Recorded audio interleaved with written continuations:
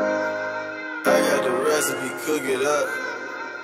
Get on my knees when I pray to stay in God's grace.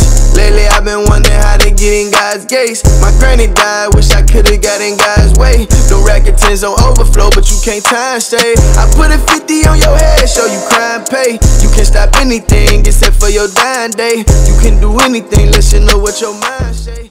All right, so you talked about building the brand and how your first logo had the brain and how that was a big emphasis. So how did you kind of come about it, and then how did that kind of lead you to your new logos that you make and how you implement those? Okay, with a brain, man, like I told you, it's still from me being ADHD. You feel me? So I wanted to focus on the brain, and um, I knew weed, weed is um, what what what would get people attention. I mean, cause I mean, you know, weed, who people who love weed, it's gonna get your attention. You know what I mean? That's Yeah. the people that I'm gearing towards. So, you know, um, the the the brain is like the strongest muscle on the body. You know, so it was important to focus on that. And you know, the brand is called Pothead Genius. So you know, it always it always comes back to that because being a genius is the highest state of mind. And you feel me? And it's just so ironic that we make you high. you know what I'm saying? For real. So um, Weed makes you think too. Yeah. makes you really sit down sometimes and Yeah. try to understand shit that you shouldn't even have tried to. Yeah, yeah, for real, it do that, man. It do that. So, so from the from the first logo, um, it grew. We got the granny, as you see that I'm rocking right now.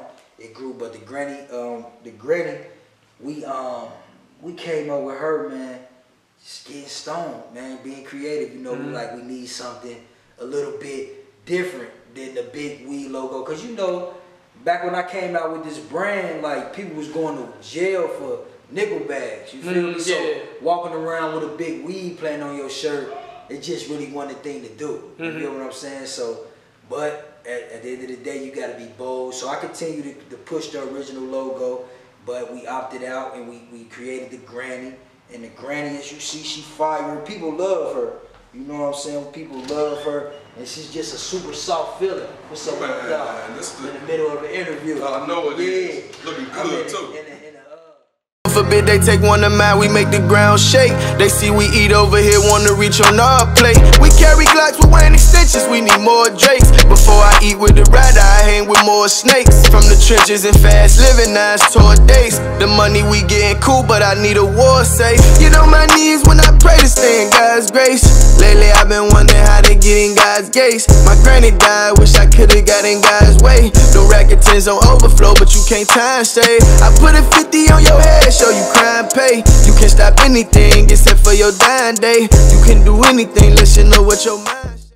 Yeah, so it, the granny just puts you in a different type of mind state. You mm-hmm. know, she's real soft, real clean, and you know you can wear her anywhere. You know, and she it just make it just make it a little bit different than people back then thinking like, oh, he's just a weed head, he's just Yeah. a drug dealer, or you know anything that came with that stigma and the plant back then. You know, mm-hmm. so it was just get uh, creating the other logos was more like a crossover.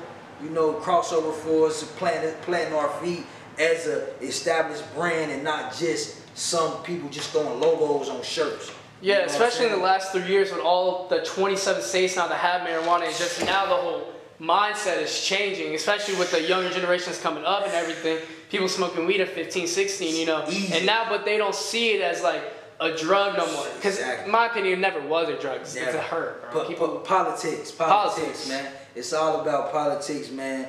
And I understood that, and man, I, I just got a um a fuck the world motto. You Mm-hmm. feel me? Because I feel like at the end of the day, we should all be free thinkers. You know what I mean? How you gonna tell me that I can't smoke this plant, but you gonna put me on Adderall? Adderall, yeah. You get what I'm saying? On a that was- controlled substance, Yeah, that, yeah. Was, that was a big thing for me, man. Once I start realizing that, I'm like, damn, they got me running around on drugs. You get me? So it, it, that's just really what it is, man. It's a battle for freedom for me. You know what I'm saying? It's really a battle for freedom for me, man. With all this shit, with everything for real, for real. It's really a battle for freedom. That's why I wear these clothes mm-hmm. boldly and proudly, and I let them speak for me. You feel me? And I just, just hope, you know, the, the, I know the world gonna understand, but that's just my goal, you know, to push that peace, positivity, unity through the plant. You feel me? Because I feel like that's that's what I'm here to do. You feel me? For real, man. For real. So what would your counter be to somebody who says, I don't like the brand because I feel like it's too weed based? So what are what do you say to somebody like that? Well, what I say to somebody like that, I mean that you gotta focus on the brain. You gotta focus on the brain. You know, yes, it's it's um it's weed based because that's what stimulates the mind. You know what I Mhm. mean? For me, for the weed stimulates my mind, which sparks my creativity, which you know battle depression. You know all that, all that different kind of stuff. And then you know we got different selections. We got shirt like the granny where you could just wear it. You know, and then we got things coming out with just genius on there. But for us, we don't want to go away from what got us here. And you know, the plant is what got us here, you Mhm. know, and we're going to always stand on that. And we're going to always stand on that because if you see what the government, the battle the government has, the, the just the amount of effort they, they put into hiding it and trying to uh, make it bad and this and that, and look at it coming full circle, they about to have to free everybody. They gonna have to do a lot more. So you know, I feel like I'm in the right fight, and um, my lane really just now opening. Like it really wasn't even opening six years ago. You know, well, really eight years ago when I started this brand, it really wasn't opening. You know, but now it's really the gate is opening for me, and you know, we're seeing daylight, and it's going, it's going, it's going to make the world a better place, man. And that's that's what I would tell somebody that um that think it's just too based on weed. I, I would tell them to look at how much of a good plant marijuana is. You know what I mean? Really do your research, see the lives that it saved. You know, really get analytical with it. Yeah. You know, if you really want to go there. Because if you want, there's Yeah, tons of medical yeah, research that proves that it helps with epilepsy, it helps with different things like that, yeah, seizures and everything. Yeah, so if you really, if they really want to go there, you just get analytical with it, man. And, and I'm pretty sure they'll come back and they'll be like, man, you're right, man, you're right. That plant is doing great things around the world, man. And I, in my opinion, people need this plant. You get me? People Mhm. need this plant in so many different ways, and it can replace all. You know, it can make a better environment. Yeah. You know what I'm saying? So why wouldn't we want that? Why wouldn't we want to push environment sustainability? You know what I mean? That's what marijuana and hemp is doing. You know what I mean? It's sustainable. You can go clothes, gas, paper, everything that they polluting the environment with, with hemp can help. So, you know, man, I just feel like, you know, I'm in this fight for freedom, man. So that's what that's what it's gonna always be for me. For real. Especially too that weed, and not even just weed in general, but no matter what, people are gonna do weed or they're gonna do Yeah. heroin, crack, and stuff like that. Yeah. So I feel it's a matter of realizing it's not beneficial if you've been doing the same thing for 30 years, locking people up over a gram, two, three Exactly. grams. Now I just think that Colorado just passed the uh, they decriminalized low amounts of drugs, Yeah. and they're gonna invest that, and I think that's where e- where the country should go. Yeah. They should stop sending people to jail for fucking fifty dollars worth of fucking weed or crack or heroin, $50. and instead use that money to actually hit the real problems in their life. You know what I mean? Because nobody just wakes up one day and goes, "I'm gonna shoot up heroin." You know what I mean? Nah, Like going through shit. things through things shit. lead up to that. And Yeah. now I think with Colorado doing it, that's going to put an emphasis on more states to realize like that's the right way to go about Yeah, it. for sure, man. Yeah, and I feel you on that, man. And, and to speak on that, man, shit, I just had to go do nine months for weed lemonade. You feel me? Yeah, so I just, I've been home probably a year. But yeah, so I got caught with, I was making my own weed lemonade. Now I could talk about this shit, you feel me? But um, I was basically, man, I was, you know, doing my thing. You feel me? I had my own brand in mm-hmm. the streets, you know what I mean? But at the end of the day, my my problem, they they problem with me was, you know, I ain't giving them no taxes and I'm Yeah. out here independent. So now that I'm home, I've been home a year. Now I go into dispensaries. The same thing I was selling is on the shelves, the weed lemonade. You know what I mean? So how ironic is that? Yeah. So you know, I feel like the world owe me. You know, and I'm gonna get what it owes me. You feel me? Because at the end of the day, I done been through a lot for this plant. A lot of cases, a lot of everything, man. Just a lot of headache. Spent a lot of money, lost a lot of money. You know, so the world owes me when it comes to marijuana, man, because the gate should be open. The gate should be open, man, not only for for for a certain demographic of people, but for all people. And it shouldn't be hard as they make it, man. Right now, I'm a two-time felon. You feel me? It's really hard for me to go get a job, but luckily, I'm a I'm an entrepreneur, and I ain't gonna let nothing stop me. But yeah, man, I just I just really feel like the government they owe me. They owe me and my family, man. They owe me and my family, man, for real. I agree. D on your head, show you crime pay. You can't stop anything except for your dying day. You can do anything, let you know what your mind say. Overcome anything, it's all about your mind. Is there heaven for G's? Tell me I wanna go. Out here with all these E's, got the devil too close. I lost a hundred in one play, nigga. The fuck do you know? We took that fucking risk together. How the fuck do I owe? But everything is everything. Got me.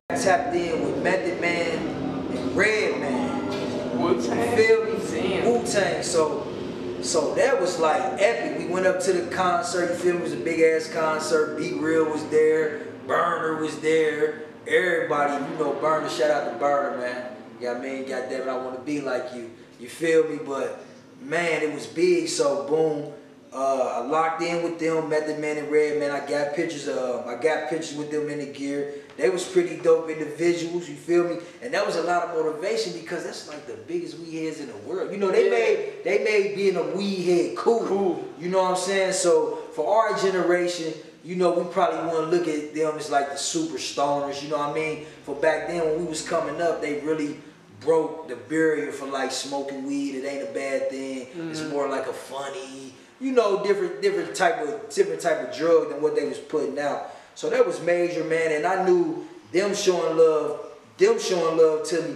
The world was gonna love me, man. It's just a matter of time and putting in that work. So I didn't deal with uh, Method Man, Redman, Mike Epps. He came to my previous shop. And he's from? Cincy, too. People don't know that. Mike, Mike Epps, um, goddamn it, Michael Blackson, uh, Lil Duval. Damn. You feel me? Um, Jadakiss, Styles P. You feel me? I didn't got close. I didn't got close to a lot of people, so it's a lot of motivation. I Mm-hmm. sent packages to Snoop Dogg. Things ain't fall through, but I was able to get that close. You get what I'm saying? And that's what matters too. That's reality. what matters, man. That's what matters, man. So you know, it's, it's definitely been some celebrities and definitely getting Jadakiss and Styles P in it because you know they weed heads and they hip hop heads and they real and they independent. You feel me? They independent. So that's that's my whole goal is to stay independent. You feel me? I want to stay independent, get my own distribution deal. You know, follow that, follow that, follow that path, man. And it and it, and it a lot comes with that. So you know, you be needing that motivation. So like so like I'm saying, um, Styles P, man, that, that shit was surreal, man. Getting to just chill, smoke, haha Davis, the up and coming comedian, you feel me? He he done done skits in my shit. You feel me? So you know, man, it's it's it be rolling. It be rolling, man. It's just like it's just like marijuana, you know, you plant seeds And it and grows. yeah, you know, you grow, and as a grower, you know, you start growing, you grow you some good shit, boom, then the next batch, it get better, Mhm. then the next batch, it get better, then the next batch, you in high times, you feel me, you at the cannabis cup, so that's just, that's just what life, man, is just about growth, growth, growth, but you can't grow without planting them seeds, and meeting all those different people, man, it was motivation, but I also knew that those was powerful seeds being planted. You feel me? Because it's like I wouldn't be here as just Josh. I won't only be here. I'm only here because of the brand. Mhm. You know what I mean? Even though I created this, it's still like the brand is taking me to meeting these different people and going to these different places. So you know that's always major for me, man. That's always major for me when people are interested in my brand and the message behind it and, and what's going on, you know, and, and where where it has taken me because it's been a hell of a journey, man. Yeah. Been a hell of a journey, you feel me? I jumped off the porch when I was 23. You know what I'm saying? Just like fuck it, I'm about to open a business. You feel me? A lot of people ain't want doing Mhm. that back then. You feel me? A lot of people weren't letting their nuts hang like that. You know, so and when they come to opening a business, people just see this. They don't see They don't see the back work. Yeah, the back work. They they just see this, man, and it, it shit is work, man. It's work. So meeting them people, motivation to keep me going. You know what I'm saying? And man, we just want to keep growing and eventually get worldwide, man. You know, for real. So who is the one celebrity that you want, like that you be like, Uh, yo, like this is it maybe a Dave Chappelle, Yeah. like a somebody big that you like, yeah, I, I fuck with Dave, but man, for me, I think it gotta be, I got two. It gotta be Berner and Wiz Khalifa, man. You feel me? Because I feel like what Berner is doing in the weed game is like pioneering. You get what I'm saying? He like And he was one of the first, him and Ben Baller, one of the first who did the runs things, the cookies Man, things, and that type me? of shit. they was the first ones, man. They was the first ones, and it's like the way he opened up the gate. It's almost like when technology hit. That's how he hit them with Mm-hmm. the weed. He gets so innovative and so much shit. And opening up here, he got smart weed shops and this and that. So you know, man, it would definitely be Berner meeting Wiz Khalifa, smoking a joint with them. You know, the pothead way. You know what I'm saying? For real, man. That that would be, you know, a dream come true because at the end of the day, I know they'll understand this message clearly because they mm-hmm. pothead geniuses.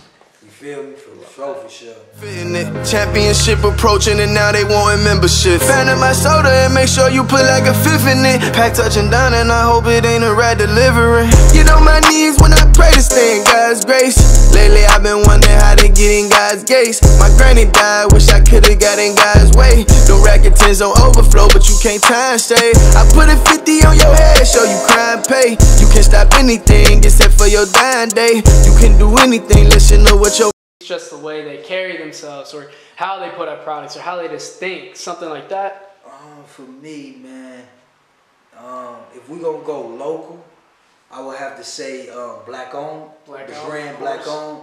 You know what I'm saying? They um they was really like the first local clothes. Well, I, I wouldn't say the 1st Hmm. but the first to really take take it to that level where you know other people felt it was possible. You know what I'm saying? For real, for real, man. And they they are a prestigious brand. You know what I mean? They um they put out they put out a clean look. And if I would say motivation, I would have to go there. Yeah, Okay. man. You shout out to Merck and Macho Means. Yeah, for sure, man. For sure, for sure. For real, for real. And now on the global level, I would have to say Lacoste. You know, that was my favorite brand. You feel me? Yeah, that was my favorite brand. And um, ah man, if I, I even got that motherfucking tattoo on me. I got the gator right here, man. I love that shit so much. For real, for real. But um, I just love how how simple and elegant their clothes is. You know what I mean? Just the alligator Yeah, there, just clean, yeah. feel. Yeah, you know they got that. They got that here and there. They got their live stuff, but far as like man, it's it's it's really clean, simple, and to the point. And that's that's really that's really how I like to look at fashion. You know, you want your over the top shit, but also you want your just straight, clean, fire. You know what I mean? That's what that's what Lacoste definitely is, man. For sure, for sure. Come anything, it's all about your mind state. heaven for G's, tell me I wanna go. Out here with all these E's, got the devil too close. I lost a hundred in one play, nigga, the fuck do you know? We took that fucking risk together, how the fuck do I owe?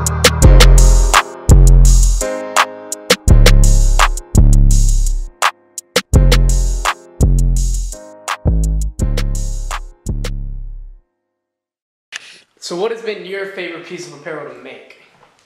Oh man, favorite piece of apparel to make it would have um, probably been our um, snow on the beach. It's uh, inspired windbreaker.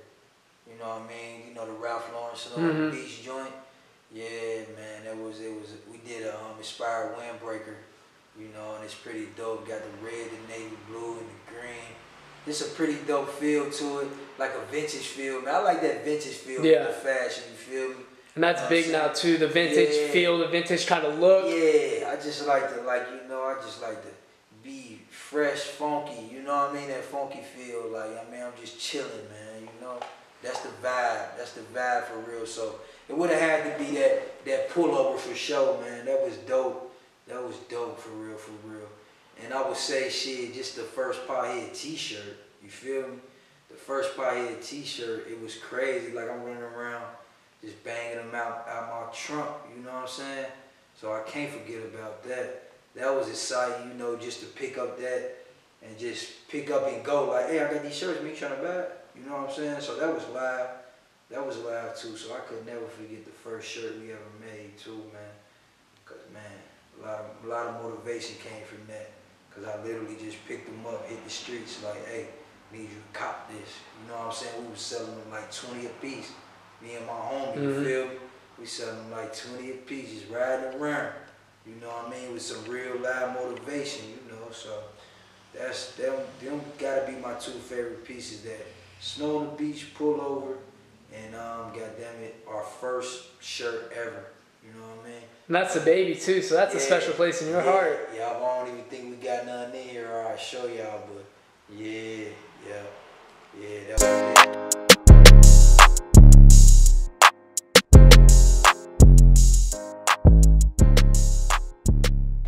Five years from now, man, um, I picture myself. I don't know if I'm gonna have a lot of brick and mortar or flagships, or the, or maybe the business will be full blown mobile. You feel me? Cause um, my next move is to get like a mobile store. Interesting. Like, a, like um, I'm gonna get a like a maybe a sprinter van, but when you walk into it, you will get the boutique feel. Oh. You know what I'm saying? So it's gonna be set up, dressing room, rails. You Mm. know what I mean? So I think that's where my future is um, because I just want to be everywhere. So if I can get me five, ten vans and I can ship them all around the world and have my store everywhere, you know what I mean? Yeah. That would be. Do you Yeah. feel like your business is more online than it is? It's a little bit. It's a little bit of both. It's a Mm. little bit of both. You know what I mean? It's a little bit of both. Online, it it's, it's, it does good, and you know, like with um the ground play, it does good as well. Okay. You know, you know it always it all got. Yeah, it peak. fluctuates, you know, it changes and everything. All got its peak, man. But shit, you know, like I ain't even gonna lie, man. You know, with me going to prison and just going through all that shit because it was um it was such a big case. I damn near lost everything. Hmm. You know what I'm saying? I damn near lost because spending money on lawyers, Yeah. doing this and doing that. You know what I mean? I damn near lost everything on the personal. You feel me? So to be back here a year later, you feel me? Is is is is is man, it's a blessing, bro. So like you saying with the online and in store, it's like, man, getting the flow for both is what you want to do. You feel me? Yeah. Yeah. So Building that, and nothing really replaces a brick and mortar, but realistically going forward, everything's online. now. everything. It's everything. Instagram, you can buy it right off Instagram, you can buy it right off Facebook, Yeah. and everything like that. Yeah, so you know we moving in that direction. You know we trying to move with the game, man. And you know we just believe in being a big small business. You know what I'm saying? Mhm. For real, man. For real, for real, man. Hey, shout out to you for this interview, man. Of course. It was dope, smooth. You feel me? For real, we locked in. God damn it, pothead approved. You hear me? I appreciate For sure, for that. sure. Mercy.